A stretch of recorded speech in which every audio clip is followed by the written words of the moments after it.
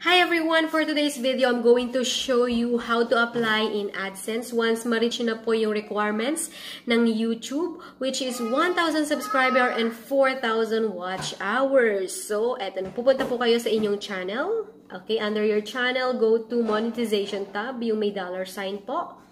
And as you can see, doon po sa inyong uh, channel, meron, makikita nyo po yung subscriber, naka-check na at uh, saka yung watch hour nyo is naka-check na rin. And below that, meron po kayong makikita na apply now. Just click on that. For that, ito na po. Papaprompt na po yung mga 3 step. Okay, let's start yung first step. Okay, yung first step, ito po, review YouTube program terms. Ito na po yung mga terms niya. Basahin niyo po yan kung marami po kayong time. Pero of course, pag nagmamadali na kayo, alam niyo na. Punta na lang po kayo sa dulo. Ayan, dahil mahaba-haba po yan. Ayan. Kung nagmamadali lang naman kayo, pero marami kayong time, why not coconut? Go! Basahin niyo po yan. ba? Diba? Para at least more learnings na rin. Okay, then then I accept YouTube program terms and kung gusto niyo makareceive ng email, just click on that. Accept. Okay. Alright, so makikita niyo po, prompt po uli siya sa mga step.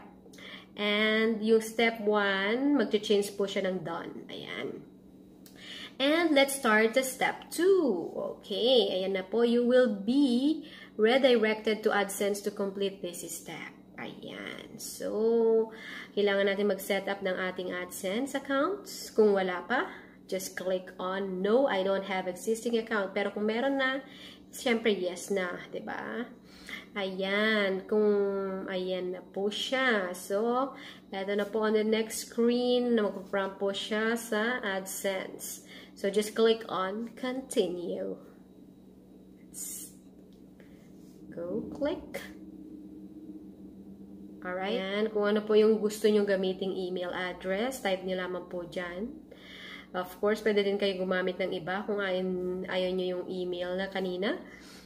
Pwede nyo pong palitan. Okay, so once napalitan nyo na, na-edit nyo na, and you've decided to use that email, just go continue to the next step. Alright? You verify your password, of course. And the next Ayan na po, magpa-prompt na po sa Google Sign Up. Google AdSense Sign Up. So, ito na po yung uh, inyo pong, uh, click nyo na po itong yes, send me customized help and performance suggestion. Click nyo na po yan kasi nakalimutan ko dito sa video. Pero makikita nyo po mamaya, babalikan ko po yan. Pwede nyo na pong i-click ngayon. And then, yung country po ninyo, of course. And yung inyo pong agreement. Ito po, mahaba-haba po ito. So, kung may time kayo, basahin nyo lamang po yan. But if not, of course, pwede na po kayong dumire-diretso hanggang dulo. Para mag-click nyo na po yung of course, yes, I have read and accept the agreement. You have to click on that.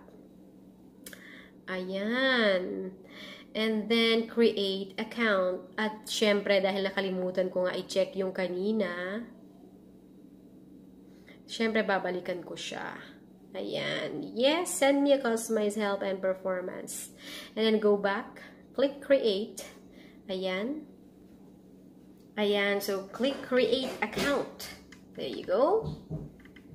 And uh, let's wait for the next. Alright, ito na nga po yung next nag-appear. Ads made easy.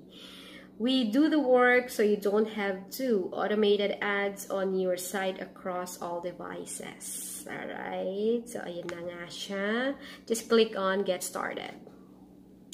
And next, ito na po yung payment address details po ninyo. Make sure na correct po lahat ng i-enter nyo dito para mabayaran po kayo ng tama. Siyempre, dyan po kasi sisend yung PIN. Next na mag-a-appear sa inyong... Hindi po pala. Okay, so, ito na po yung next payment address details. Po na yan, i-click nyo lamang po yung submit. Okay? And then, ayan, nire-redirect kayo doon sa mga step. So, ayan po, yung 3 step. Makikita nyo po yung step 1 done. And then, yung step 2 in progress. So, pag wala pong issue yung inyong YouTube channel, walang copyright claim, walang copyright strike, uh, kakaasa po kayo 6 to 12 hours. Approve na po yan. Okay? Pero, pero pag meron po kayong copyright claim, that will cause delay po ng inyong approval. Siyempre, ayan. So, after 8 hours, ito na po, na-approve na po. Congratulations, you have been accepted into the YouTube uh, partner program. You can now monetize your videos and access support. Ayan po.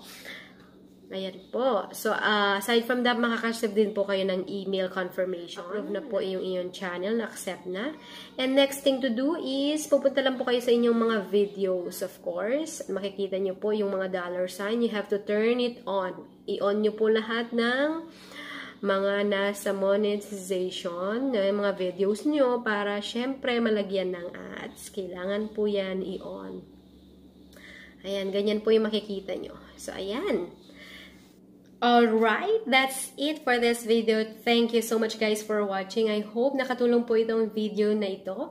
If it's uh, helpful for you, please click the like and then forget subscribe. Thank you for watching our channel. Bye-bye. Sa Diyos for watching our channel.